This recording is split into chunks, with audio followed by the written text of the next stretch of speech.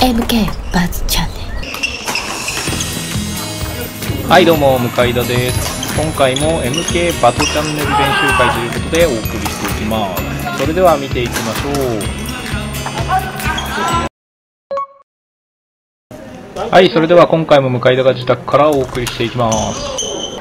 えーと今回向田はいないのであの数の方が出張ってやってくれてますね。まあいないというかこのゲームにいないだけですけど。いやー見てて思ったのは松崎くんのなんかまあ体の動かし方を知ってるのがすごいっていうところとあとサーブレシーブがすごいなというところとうーんうん。そんなんですね。てかまあ上手っすよ。その上手。サーブレシーブとかすごいんだから。あとこれねそうこれって多分体の使い方を知ってるからなんでしょうね。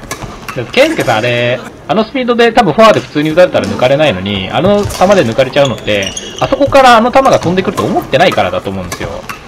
それをなんかやってのけるって結構すごいですからね。対面でいる相手から。まあまさかのドライブの球ですからね、あれ。そういうとこはなんか体の使い方うまいなっていう感じですね。というか体の使い方を知ってないと多分できないんでしょうしね。家族がちょっとあれですね、あの、ラリーのスピードについていけてない時が、まあまあ散見されますが、それはまあ練習不足なので、あの、多めに見てください。これすごいよな松崎君、ああいうのもすごいんですよ。なんか手先だけで飛ばすみたいな謎の技術。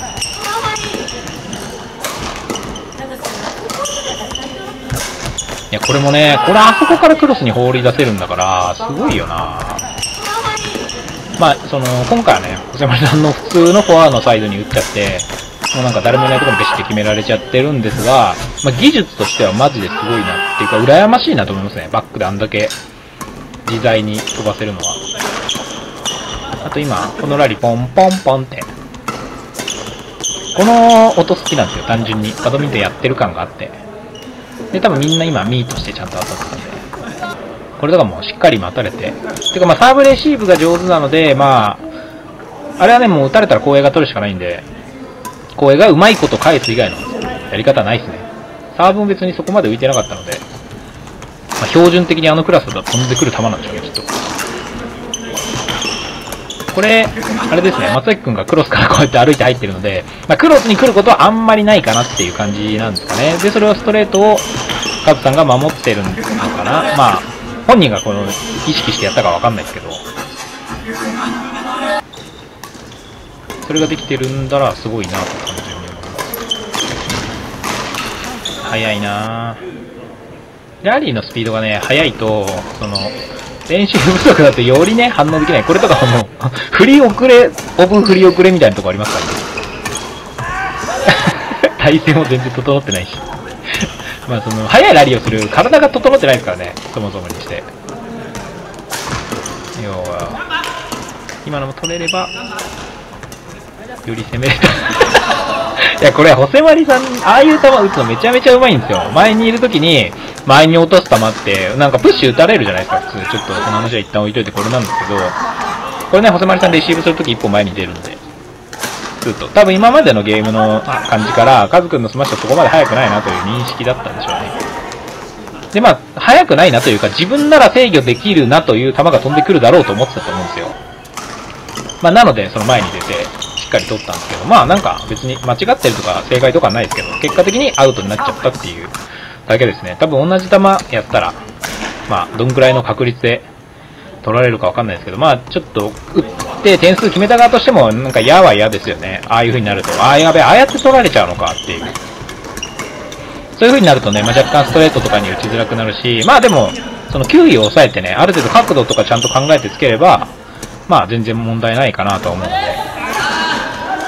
これね、今、あの、話、このラリーに戻すんですけど、カズくんのなんか一個いい、その読みっていうか、判断があって、一個いいわけじゃないですけど、の後かな、これ打たれて、そう、ここ、今、あの、細丸さんがフォアで打つ構えをした段階でもうワイドに開いてたので、あれなんかいいなと思いましたね。そのフォアから打ったらフォアのクロスしかクロス側には来ないので、そういう意味で開くっていうのはかなりありだなと思いましたね。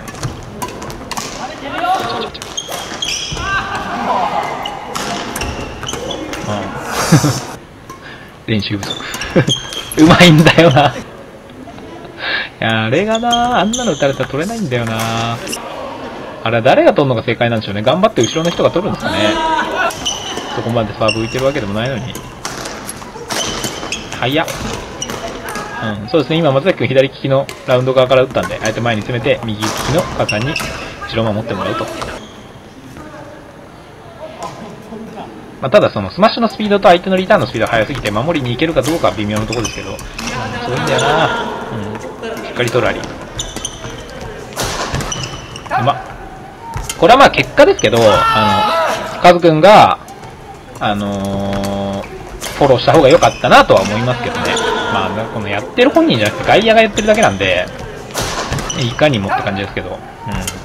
その普段やってるペアだと相手がどのくらい動けてどのくらいのスピードで戻ってくるかって多分ある程度わかるんでカバー行ったり行かなかったりするんですけどこと松崎君においては戻ってくる可能性も全然あるししかも左利きなんでね。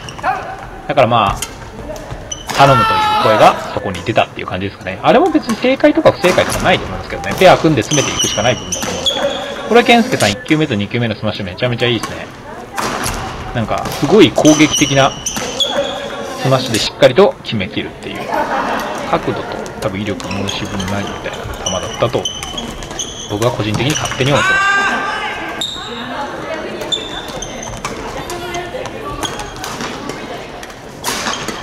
いや早いな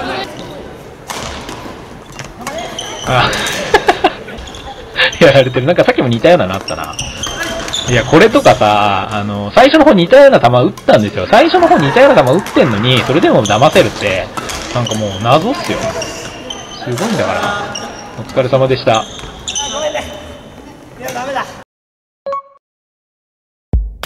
動画をご覧いただきましてありがとうございました。これからも頑張って定期的に動画をアップしていきます。ぜひチャンネル登録と高評価よろしくお願いします。また、コメントは全て返信させていただきますので、コメントもお待ちしております。ありがとうございました。